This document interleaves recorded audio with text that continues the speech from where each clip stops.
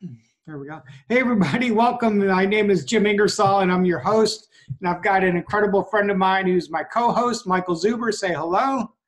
Hello. How, how's everybody?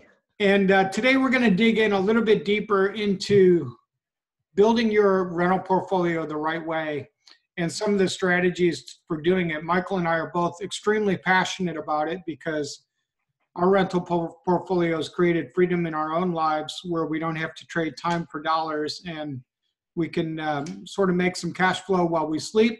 And a lot of other people are all going to work so that we don't necessarily have to uh, do what we don't want to do.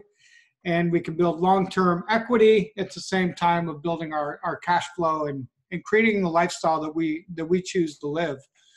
And uh, so it's something we're both very, very passionate about. We've both done it so some different ways along the way. Michael's been doing it as a W 2 employee for many, many years uh, 15 years. That isn't very many, actually.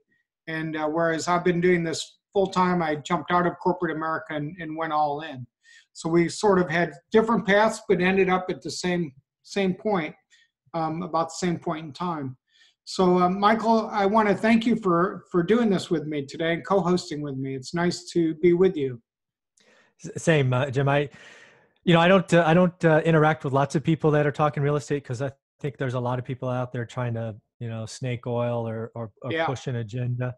And you're one of the guys I've latched onto because we just give, right? We and and we're honest, right? If if we don't right. know something or the answer may hurt someone's feeling, we we we still say it with care, but we're, we don't have an agenda. So uh, I like I like associating with like-minded people. So I, I and congratulations it. on your book, One Rental at a Time.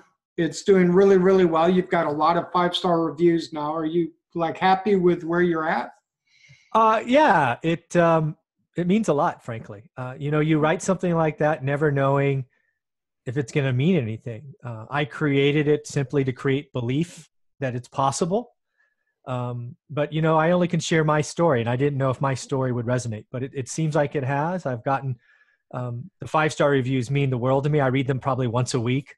Um, you know, as a self published author, though, it's hard, right? You uh, you constantly need to grow and, and get some more. So uh, the the mark they talk about is a hundred. So so I got to work my way up to a hundred five star reviews, one one review at a time. So it's fun. There you go, just like just like your rental portfolio, right?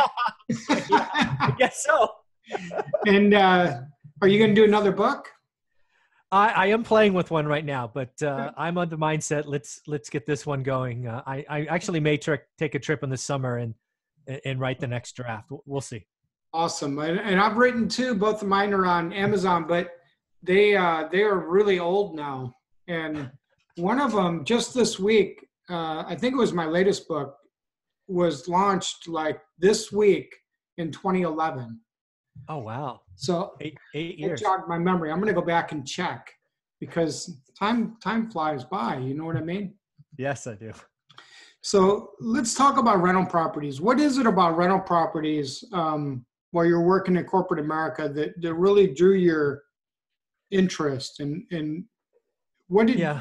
what beliefs did you have when you started versus what was reality once you got going and then looking back over those last 15 years that's really made an impact well, so you know, if I rewind the clock to 15 years ago, I have nothing. I have forty thousand dollars in a Schwab account, and that's all I have to my name. Right? I'm a 30 year old guy. Uh, I made okay money in my 20s, but I blew it all.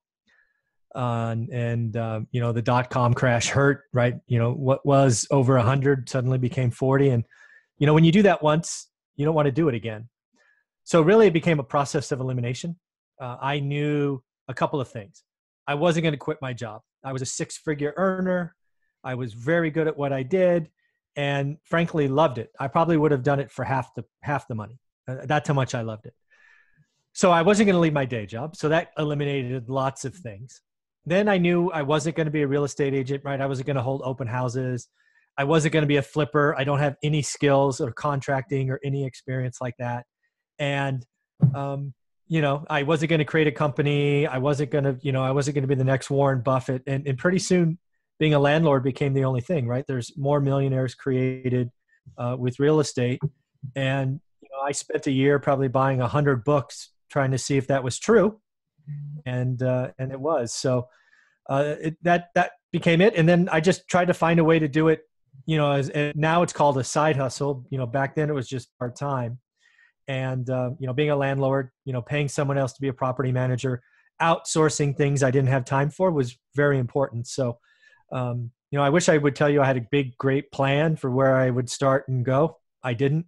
Uh, I just knew I needed to do something, and pretty soon, you know, being a landlord was the only option. And you know, from there, it just became, you know, the next property. Hence the title, one rental at a time. That's just how my life evolved. So, so looking back now, um, obviously you're you're happy with where you're at. You've got a lot of doors, a lot of tenants, a lot of roofs, and a lot of mm-hmm. cash flow and equity.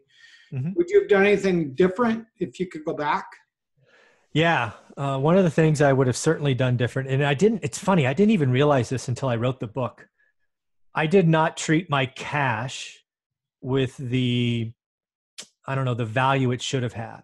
Mm-hmm. Uh, and then what I mean by that is, is I got so focused on buying cheap properties, right? Like, oh, I got a 30K discount to market, or I got a 40K discount to market. And I was happy about that. But what happens when you buy cheap is then you have a huge make ready cost or repair cost or whatever you want to call that. And when you really start do the doing the math on your return of your cash, it's horrible. So I should have bought what today is called turnkey properties or make or, or uh, move in ready or whatever you want to call that. As a busy professional that would have been better for me 15 years ago because i would have treated my money with more respect. I would have been able to buy more stuff because lending was really easy back in 03 and 04 um, you know i could have had a lot more doors today if i would have treated my cash better. That's mm-hmm. that's a mistake um, you know, I, I, ended up okay, but I do kick myself for that because I just wonder what what could have been if I would have doubled my properties those first, you know, five to eight years. Yeah, and we're going to talk about B. You know, we're going to talk about BRRRR. So B mm-hmm. is the first one, which is buy, and mm-hmm.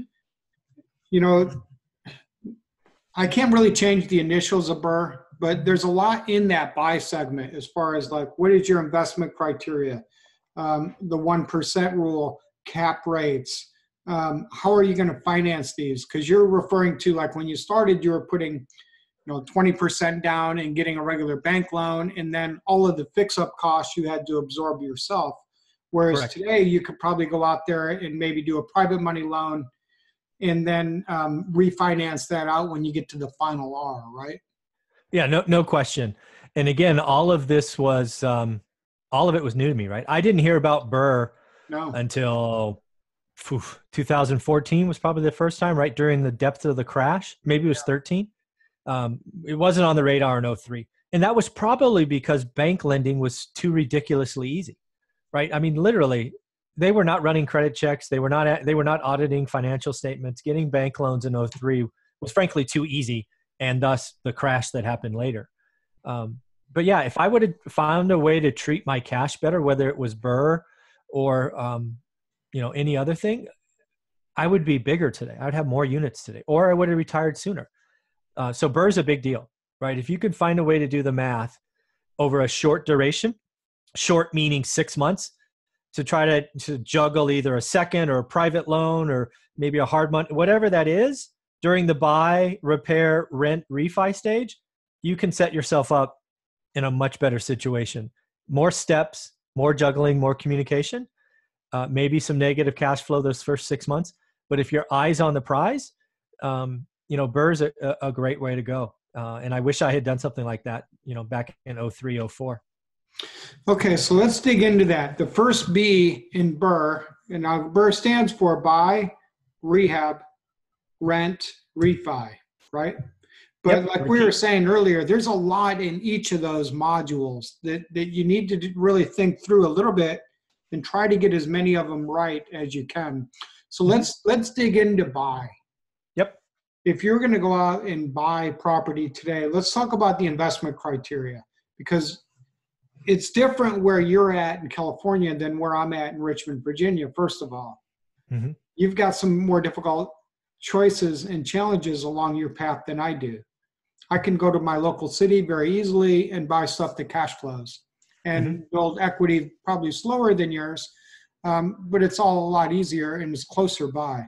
You had to figure out like where it, where does it make sense to build that portfolio for you, and you ended up in Fresno.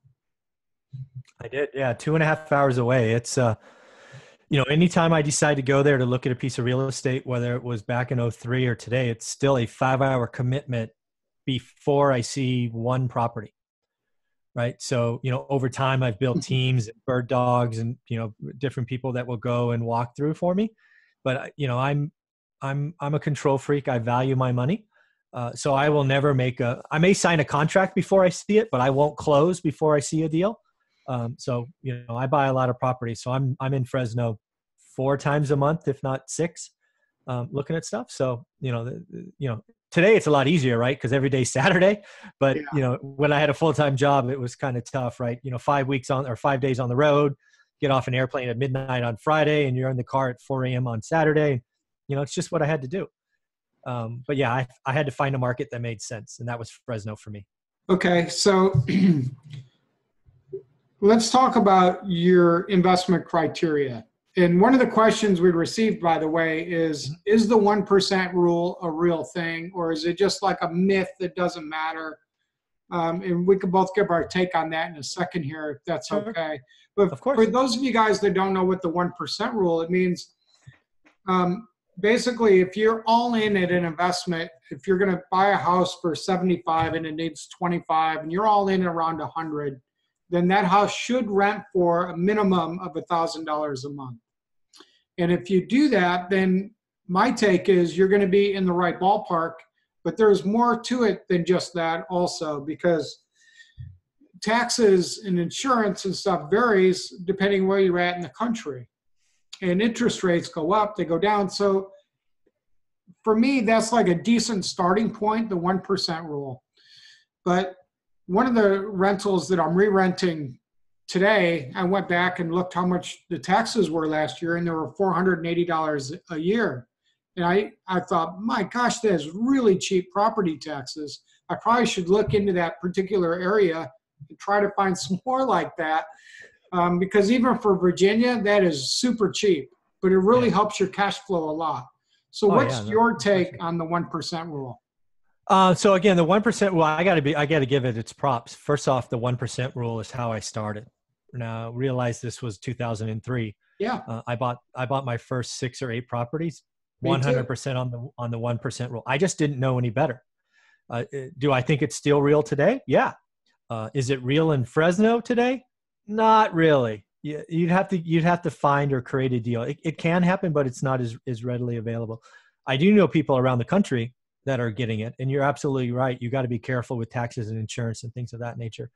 Uh, I used one percent rule today as a general guide, right? If I get close to the one percent rule, you know, it's usually a sign to dig in. Um, but yeah, it's certainly real, uh, and it served me really well in the beginning until I learned, you know, t- to chase a different metric. But uh, it, it served me really well in the beginning. So, what are some of the other metrics that we need to be aware of when you're starting to dig down, like, and start to analyze deals or figure out the best place to invest? What are some of the other things besides the 1% rule that, that you like to look at? So if we're specifically asking that question under the BRRRR methodology or the BRRRR framework, it all starts with your exit. All of this, all BRRRR, everything, all the five steps or four steps, whatever it is, none of it matters unless you can get out at the exit correctly. So what do I mean by that? When you're getting out of the exit of BRRRR, at least as I understand, most people are like, I want to keep the property, but I want to refi out of expensive debt or get my cash back and then hold this asset long term, right? That's the goal of BRRRR. So, in order to do that, you better have your exit wired. Now, what I mean by that is you have to know what it's going to rent for, right? If you expect it to rent for 1200 but it only rents for 950, BRRRR's broken. Right? So you've got to be conservative on your exit. You also have to know what you expect the after repair value to be. If you expect the after repair what value to be 150 and it comes in at 125, BRRRR broke right? So BRRRR all starts with the buy, absolutely. But if you don't have that wire exit, you're not going to be happy because you're going to, best case, get less cash out because you're trying to refi out, pay off expensive debt with cheap bank debt. Um, so I think a lot of people worry about upfront where they had also better worry about the exit because if you get the exit wrong, you you may not you may not get your cash back and be able to do that final R, which is repeat. Um, so that's that's where I think a lot of people miss is the exit is actually the most important because that's where you get to recoup your capital. You get to keep a cash flowing asset uh, and keep moving forward. So so that, kind of start with like the end in mind, right? Invest with like you got to know what that exit strategy is. And you're right. If you're going to go to a refi, which is the last step, you've got to know what the criteria for getting that bank loan is at the end. And so I hate starting like BRRRR with the end, but you're right. It does. You need to know that. So there's a couple ways to get to that final refi. You could, if you're W two, then then you've got the gravy train because you can just go like conventional financing on your first four, right? Mm-hmm. And it's a lot easier. But um, once you're past four, or uh, maybe you've got some other uh, issues or things preventing you from doing that, then you might need to go to a commercial loan. Yep. And I've, that's where I'm at. So I use commercial loans a lot. And you've got to know what that bank is going to make you have as far as the criteria to nail down your refi. Mm-hmm. And you were right. You've got to know your rent. I mean, you've got to really know how much you're going to rent it for when you buy it, and you've got to know the ARV. I'm doing one right now, Michael, and I'm I'm getting ready to. Um, I'm at the end of the BRRRR, so I'm going to refi uh, in a few days, and it's one that I think we paid like 60, and I'm in it like 75 or something like that. Real numbers, right? Yeah. And so I had, and I knew that it would rent for 9.95. I had it rented, no problem. Those are that's above the one percent rule, so that's fine, yep. right? Yeah, looking good. And so to get through the refi, I was planning on it um, appraising around 105, and it actually came in yesterday at 125. So again, just being a little bit conservative, I knew mm-hmm. like where it had to be, which for my bank loans, I've got to have. I really want 25% equity. Um, that's yeah. kind of where I'm I'm going to be, and I've got to have positive cash flow. So yeah. um, in this case, this is a real life case study. I bought it from a wholesaler. Um, I've got strong positive cash flow because I'm all in at 75 um, and it's rented at 995. So I need to I need to refi at 75. I paid cash, so I want all my cash back, right? Mm-hmm. In this case, I didn't do a private money loan. So to, in order to get all of my cash back and to be into that rental with none of my own money, I had to get 75 back. And yep. there, I knew I really wanted it to refi. I wanted it to appraise at at least 105 does does that make sense as far as like explaining this to folks on how it works with the end in mind? Yeah and then one of the things that i would tell you um, that you said that other people should pay attention to is you knew down to the penny if you will what the exit had to be. It had to appraise at 105 if it goes above that gravy right? All good. Yeah. Um, but you knew what it had to be because this is so important for people doing BRRRR especially if they're doing private or hard money. Um, the worst thing that could happen is you get to the exit and you don't get your money back. Yeah. Then what are you going to do, right? You're likely doing BRRRR because um, you don't really have the capital. And how are you going to make up that seven or eight grand, right? BRRRR blows up if you don't get all your cash back when you borrowed 100%. Um, so you better get really tight on that end. Uh, and then you've got to you've got to watch market cycles, right? This this business is changing and evolving all the time. We're not in last year's sellers market or last summer's sellers market. It's different now. Uh, at least it's different in my market. So, you know, when you buy, you've got to be able to see the future a little bit and go, okay, 90 days out, maybe 120 days out. What would happen if market's down 5%? I don't know, right? What would happen? You've got to ask these questions.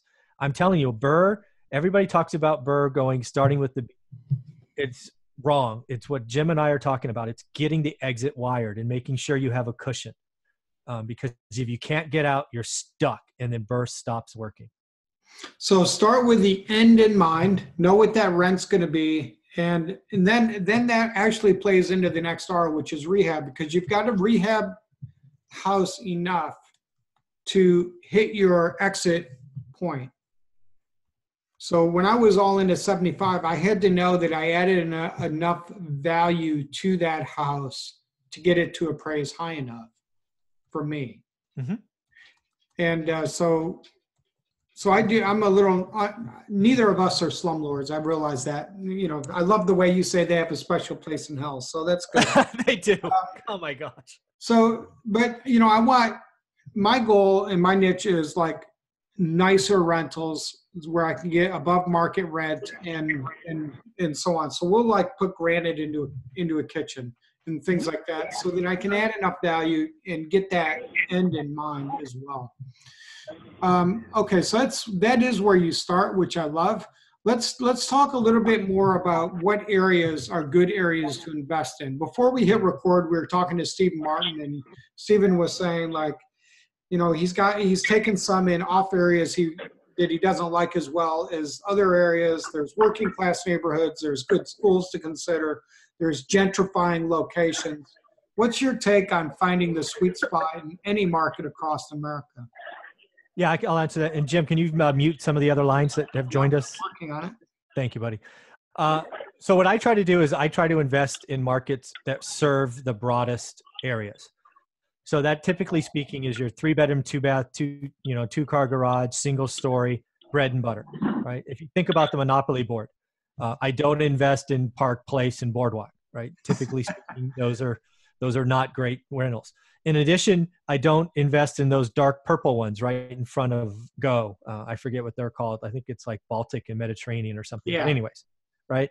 So you, you got to know where you're not to go, right? I, I like to be on the second and third sides of the monopoly board. It's kind of where I like to play. Maybe the light blue stuff uh, just before whatever that is, jail or whatever that is down there.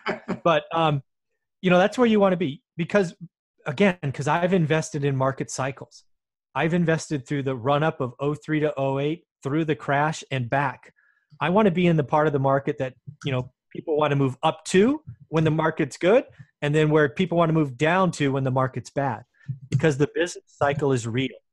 It does happen. Yes, I know we have sub four percent unemployment. I'm sorry, it won't be there forever No. um, you know it's going to change so um, i like to be in the part of the market that serves the broadest uh, either as move up in good times or move down in bad times hmm And I think if you can, if you can look to the areas that are gentrifying in your in your city, um, your your equity side of your component will go up faster. So there's there's like multiple when you're when you're building your rental portfolio, Michael. I think there's like multiple things to be aware of. Cash flow has to be there. You you always say, don't get eaten up by the alligators, right? yes sir given. You cannot accept ever negative cash flow long term.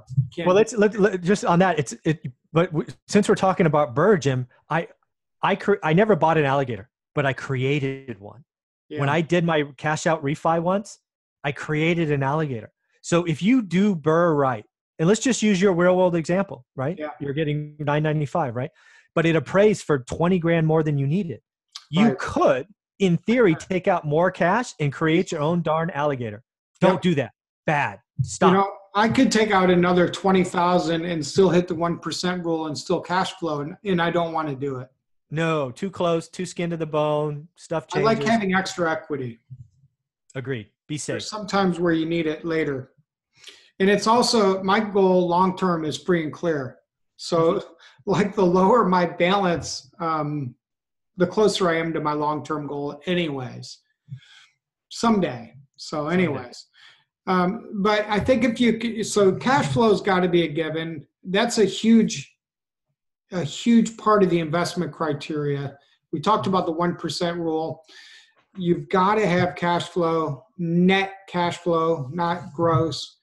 Mhm. And then the next one is equity. So how do you how do you figure out where to buy houses where you can add value so you get instant equity, but then that long term equity as well? What's what are some You know- things you've enjoyed watching?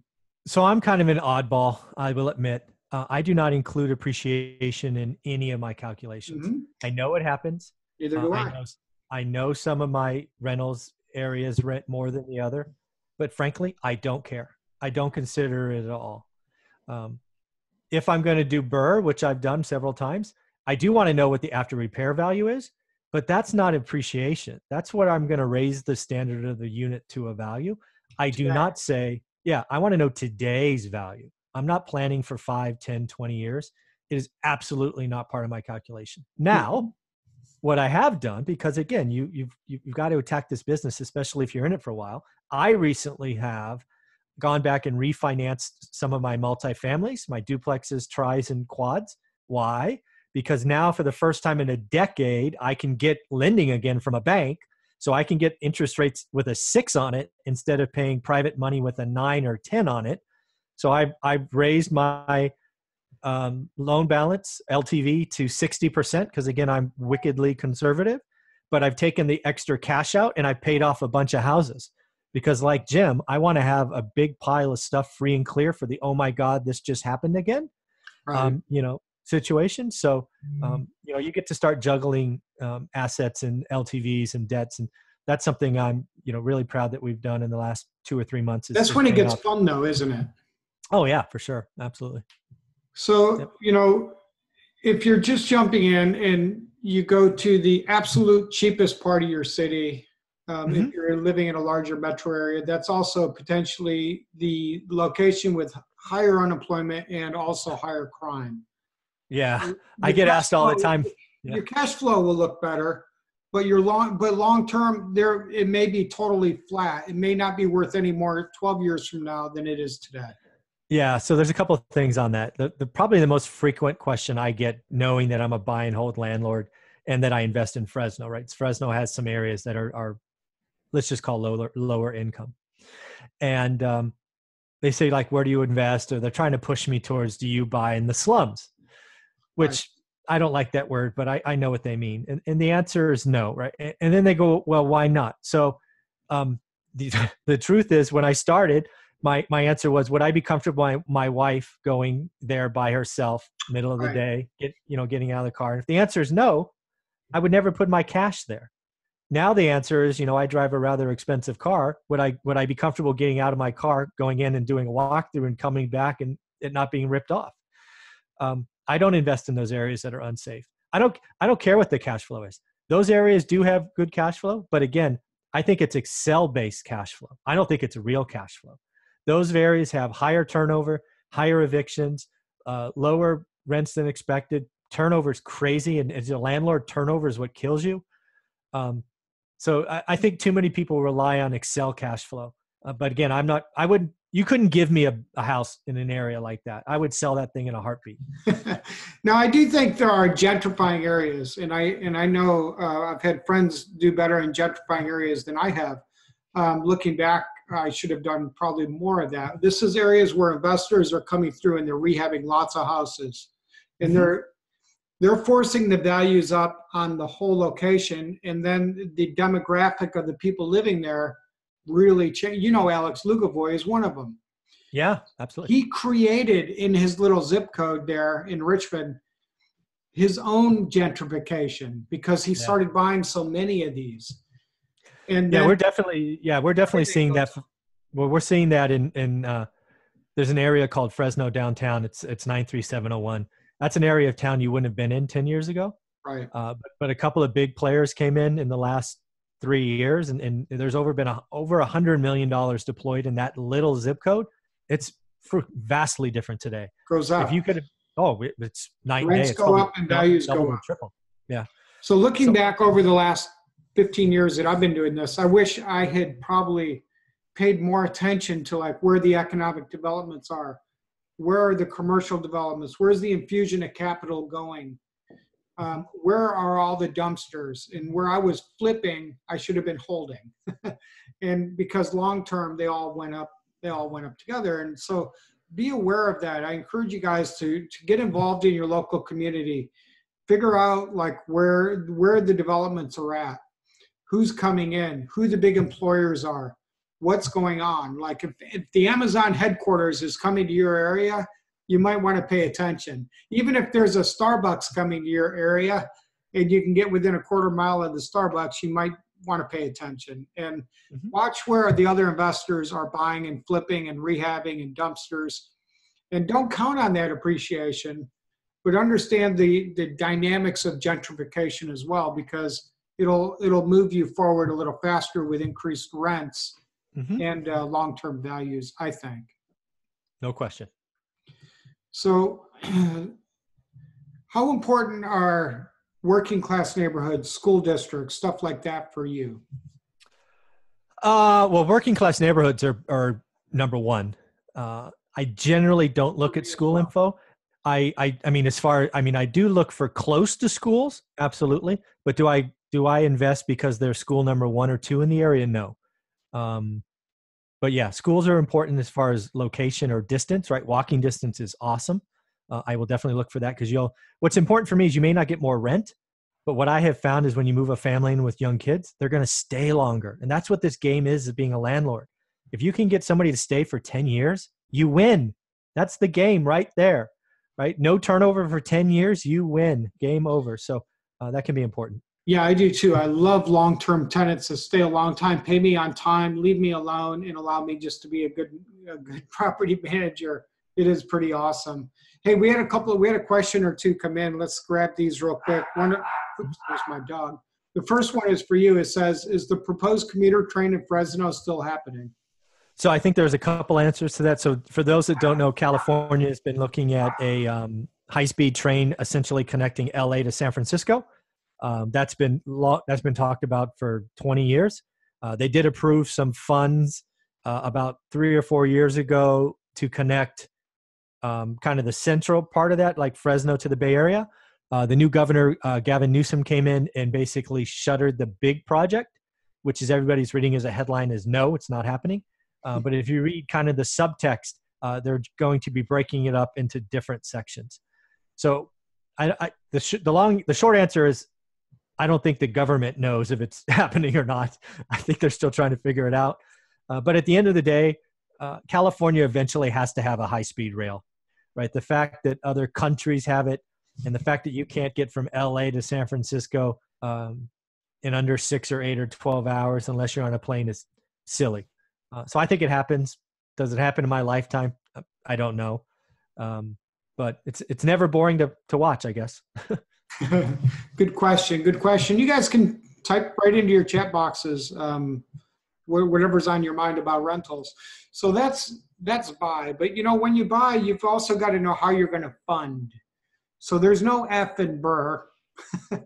but you know, I think before you you get so excited about doing rehab, um, you should you should pull out your financial calculator first, right? Pull out mm-hmm. your financial calculator before you start ordering your dumpster because you've got to know how you're going if you want to buy with confidence and you want to shop by being a discount home buyer and finding off market deals you've really got to know how you're going to finance that property. If you've got cash then it's super easy. Just stroke the check wire the money and you're done. If you're w2 and you're going to get a conventional loan then you need to understand how the terms of that loan work and what it takes to get it. Um, now, if you're going to, uh, maybe you're going to use private money, then you've got to have some private money partners set up so that, that when you sign a contract um, with, with a realtor, a wholesaler, or direct to a seller, you know that you can close. So, Michael, what, what is your take on over the years in building a rental portfolio on the front end purchase? Mm-hmm. Uh, what are some of the better ways you've seen people do it? So you know, I um, I leveraged both hard and private money a lot during the collapse um, because there was just deals were everywhere, uh, yeah. and I personally didn't have the capital that I have today, so I've used it extensively. Um, the key in the beginning is even before you start to go get funding, right? You ask to, for either partners or investors or you know whatever you want to call that. Is I believe you have to build a track record you have to build you have to become a, a source of valuable information right? So uh, like i spent you know video wasn't a thing when i started but i wrote blogs um, for a site that's now retired basically talking about properties that i was finding. I never listed the address or anything because i was always afraid people would scoop them up and all of that. But i would write you know four bedroom two bath house on sale for 40 grand arv or um, repairs i don't know 20 grand expected rent 1100 and you know i would go out and look for people to to help you know fund that so i was always giving value away um and that track record right i i ended up writing I think 50 deal reviews, and then private money started coming my way because people could see what I was doing. I would take pictures.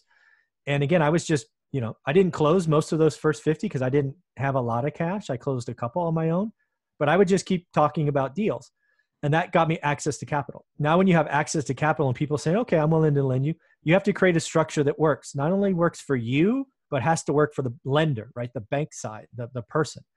So for me, it was always about, okay, I need my purchase capital back, right? I have enough to fund a couple of flips or turns a month, but I need my purchase capital back because I want to do this over and over and over again, right? I was doing BRRRR before it was named. So what I would do is I would go, okay, um, you know, Mr. Mrs. Investor, if you gave me the purchase cost, which say is 50 grand, I'll pay you 10%. And back then, this is like 2010, they were earning less than 1% in a bank. So they were in first position. They went through escrow. They were named on insurance. They were the most secure thing they could. I would get my 50 grand back and then I would do the 10 grand remodel with my cash flow from my other rentals.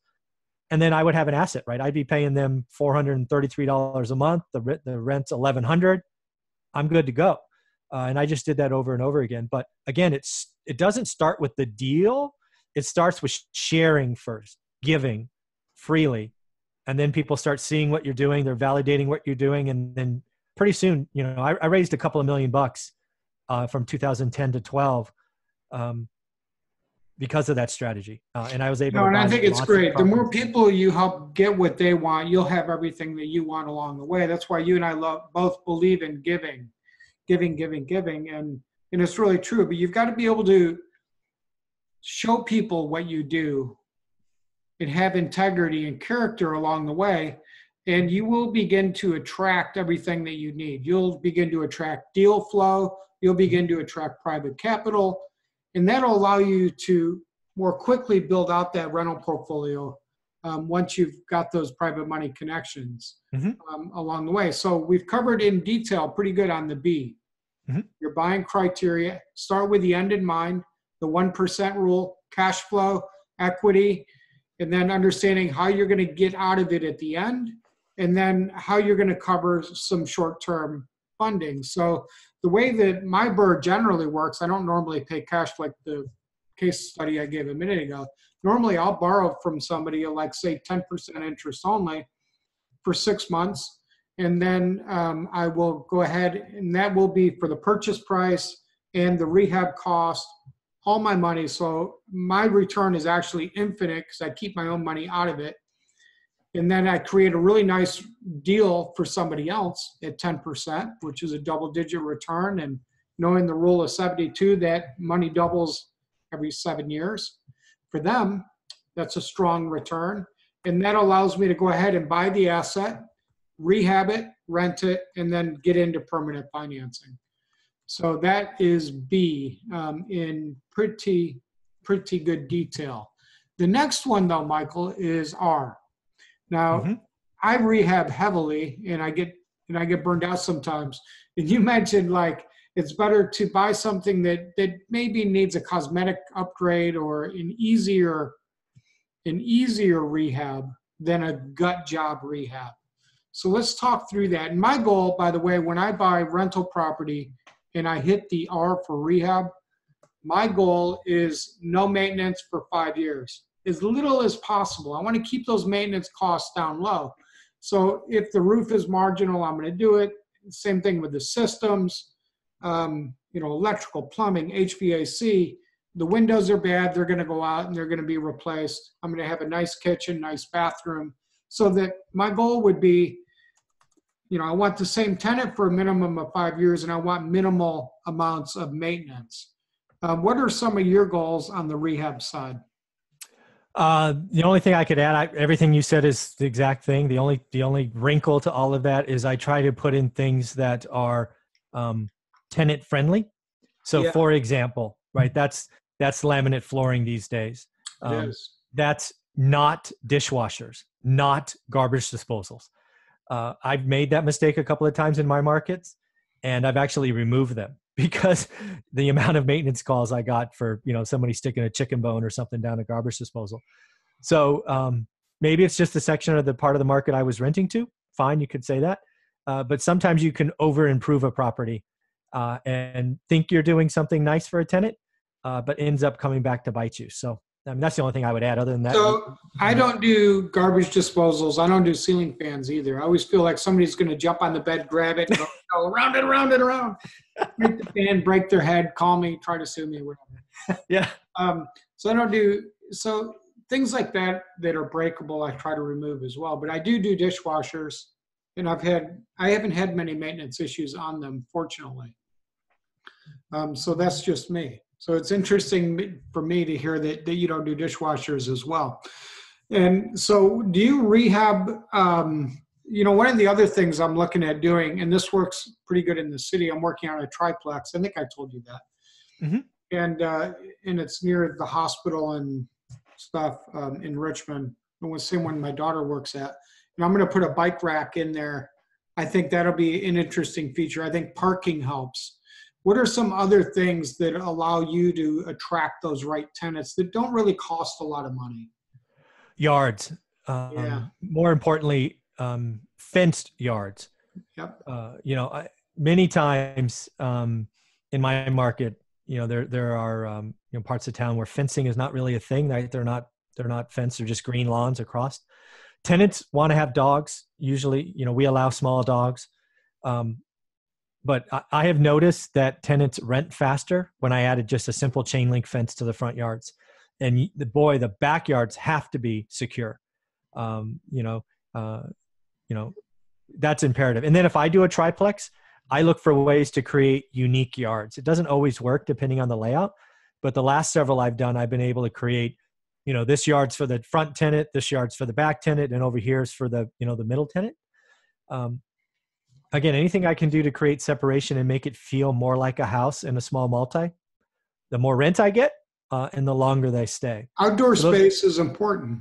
Oh, absolutely. You I- know, yeah, porches, decks, you know, stuff like that. I think it's Yep. really important. To- Uh, totally agree. and if you're in the city and you have off-street parking, I think that always helps. Um, also, um, if you have the ability to put in-unit laundry, I think helps as well. Do you? Uh, yeah, depends on what it is. A house, absolutely. If I'm in a multifamily, I might look for an opportunity to create uh, coin operated. Right, I get about a thousand dollars a month just in quarters um, in my market. It's not bad.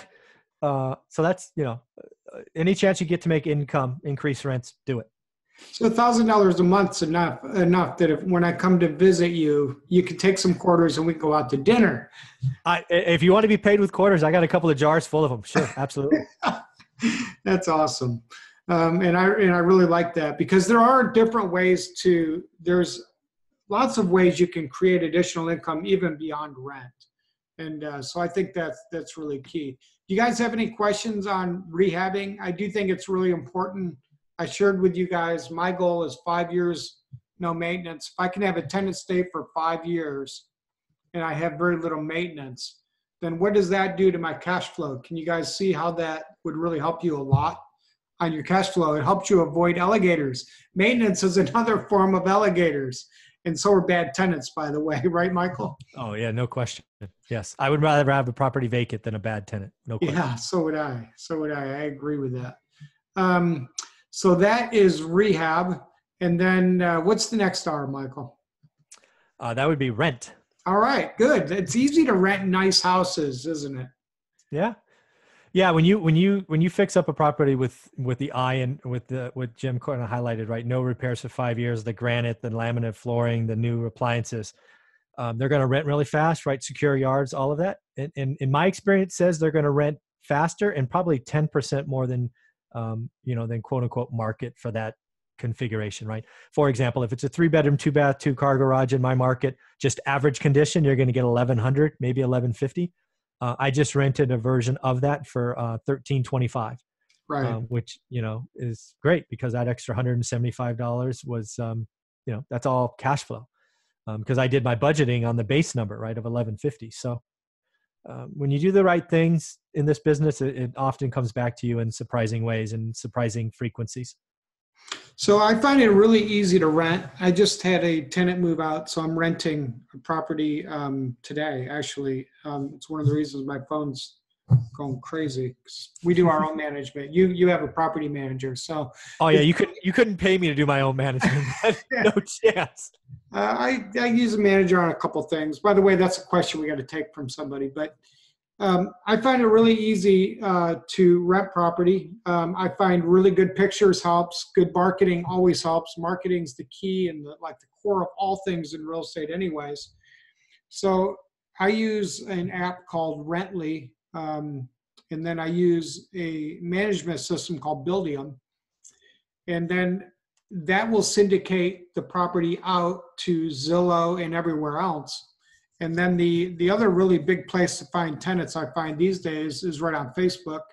So if you do that, you're going to get inundated with many, many, many people who want to see your property. And then it just becomes a screening process to go from like this many down to like who is the one person that meets my goal for income, credit, criminal background, and then you got to get that person in. Yeah.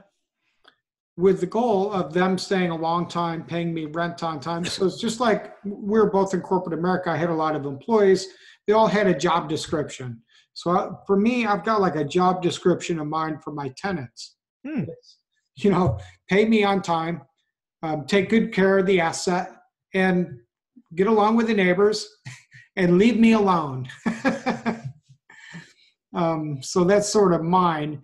But you know, I know that you're using a property manager, and one of the questions that came in, uh, by the way, was what questions should you ask of a property manager? Because it's hard to find, and you know yeah. this to be true because I know your story. It's hard to find a really great property manager. Do you have any tips on that? I know you do. Yeah, yeah. So tip number one is I would only now I would only entertain a property management firm where the principal, meaning owner, uh, is a real estate investor. Um, half of my bad experiences have come from property managers where their daytime job was being a real estate agent or a broker or something else. Basically, property management was a side business for them that they used as lead generation for something else. And you know, when the market changes, you know, that becomes very obvious, right? Uh, and um, I'll never do that again, right? Only on, only work with property managers where the owner owns real estate. And I don't talk, I don't mean owns his house in like one rental. I mean, got a decent portfolio, right? 20, 30, 40 units. If they're in property management, I want to know they got into it because, you know, they, you know, they were running a decent portfolio. So that's the big one for me. then the other thing is once you've sort of found that person is I wanted, I wanted to ask two questions. One is, how do you go about finding quality tenants? And that it's always the same process right? How do they market? How they how do they qualify? Credit checks background checks rental references all that stuff. But i want to hear that. And then second i want to ask them how do you go about keeping great tenants? Because that's what i want right? Mm-hmm. everybody's going to do the upfront process so they know the answers. It's like an idiot test. But when i ask about what do you do to keep the good ones most of them give me a blank blank stare. They're like what do you mean? They just keep paying the rent. And I'm like, no, do you have a rewards program or do you, you know, at a two year mark of no missed payments, do you do something? You know, what are you doing to reward the good ones? Because I want to keep the good ones, right? I'll spend 50 bucks on a, you know, a basket of flowers or fruit or something at their year anniversary of no missed payments or whatever it is, right? That's where I want to talk about, right? I can flush out a bad tenant, right? The eviction process is stated in law in California. So everybody runs that. I want to know what people are doing different, and that that often in my market is what are you doing to keep good tenants? That's a, that's the question uh, that I ask a lot. Retaining them, I think it's great. That's why I said my goal is to like stay a long time. That's part of my job description. I really want them to stay a long time, take good care of the asset, and pay me on time. Then the final R, and I know you got to run in a minute, is refi. And I yep. think we really covered that heavily you know you can go into if you if you're on your first four on that journey then just get conventional financing with a mm-hmm. w2 income. And if you're an investor then you're going to want to consider to go to commercial loan. And if you're doing multifamily then that'll either be a commercial loan or or some form of hud financing right? Yeah. Yeah the only thing i would say on the refi side again we've talked about it in the front you've got to get the exit down but the markets change. Um, the one thing i would always tell you to do is plan for the worst case scenario, right? So in this situation of a BRRRR, your goal was to hold the property long term with, with cheap bank loans. But whatever happens, the market freezes up, interest rates double. I don't care. Something happens. You've got to make sure that worst case you can sell the asset and pay off your private or hard money. Right? That's you know that's that's paramount. Paying back your hard money or your private money lender. Um, so you should be able to, right? Because she should be coming in with about a 30% margin, as, as Jim has correctly highlighted. Uh, but always ask yourself that. Always, always ask what's the worst case scenario. Uh, and if you can live with that, you can sleep at night. Your your lender can sleep at night. Life's good. You're going to be very successful in this business. So, Michael, at that point, then you've got a a asset that creates cash flow for the rest of your life. Absolutely. And you've got permanent financing. You know what those those fixed costs are going to be for a long time. Mm-hmm.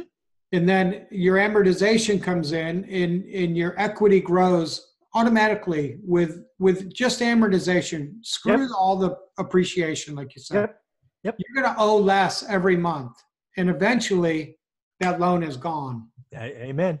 You're That's- free and clear. And then then your cash flow goes from like here to here. Right? It's amazing. It's amazing what happens, right? I have an unfair advantage sitting in the catbird seat 16 years in. Um, cash flow doesn't really feel like much the first five or eight years, Agreed.